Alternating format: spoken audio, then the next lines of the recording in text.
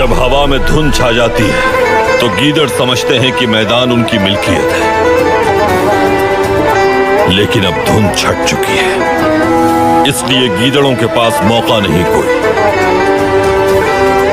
शेर मैदान में आ चुके हैं।